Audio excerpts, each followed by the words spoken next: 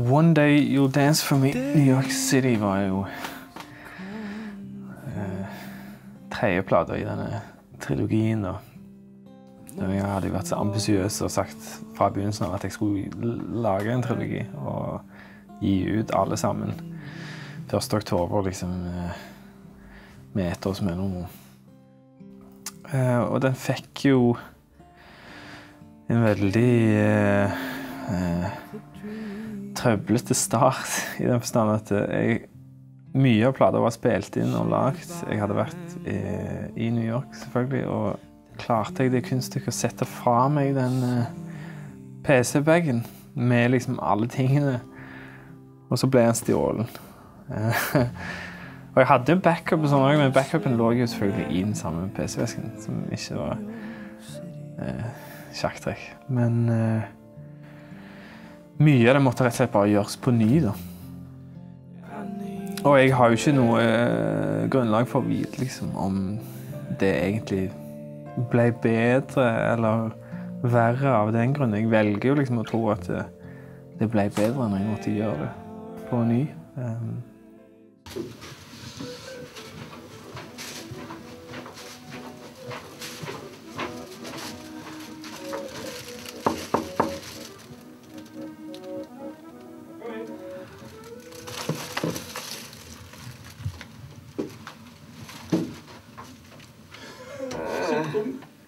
Har du kniv eller noe sånt piss, du?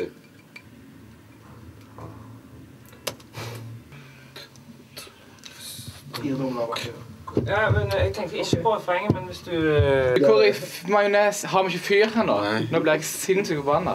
Kjøpte du fyr, Thomas? Sant? Kom. Kom inn. Lyd. Jeg klarer å ta av den lyden, da. Ja, ikke det? Er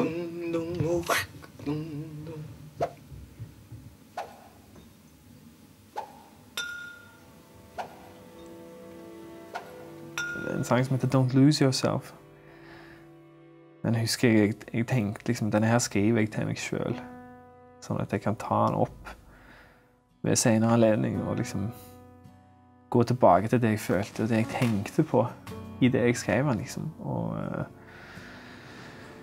og det gjør jeg faktisk sånn av og til òg. Altså, de gangene jeg hører på egen musikk, det er jo de gangene en har på en måte lyst til å ta seg sjøl tilbake til den tiden. Det er jo det det er. Det blir jo sånn eh, postkort fra liksom 2004. Det er den, den plata, liksom. Det er,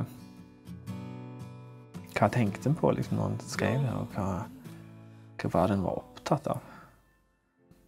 Disse platene har jo ikke vært på vinyl før. eh, Jeg vet ikke helt hvorfor, liksom, men, men altså, når, vi, når platene ble gitt ut, så var jo ikke det Vinyl var jo på en måte noe en eh, En gjorde for de svært få liksom, eh, interesserte. Eh, men det har jo forandra seg ganske mye, og nå tror jeg gjerne liksom i og med at måten folk liksom lytter musikk til og bruker musikk til, er såpass annerledes, så tror jeg liksom vinyl er Det blir på en måte en, et slags vis å få liksom eierskapet liksom, til, til, musikken på eh, en måte som en ikke har på, eh, på Spotify og, og, og, iTunes og sånn. At en har liksom En har det der foran seg. Så tror jeg òg folk er veldig glad i lyden. Og disse platene har jo liksom folk spurt etter i ganske mange, ganske mange, år, men vi har ikke liksom hatt anledning til å gjøre det. Men nå har vi gjort det skikkelig, da, med Snorre Seim som, som lagde coverne til, til, alle disse første. Han har gjort uh, ordentlig arbeid med liksom, kule cover og gjort et flid med at det skal bli fine plater å ha. Da. Og de er òg remastera. Eh, det er en som heter Morgan på Propeller, så de låter veldig bra.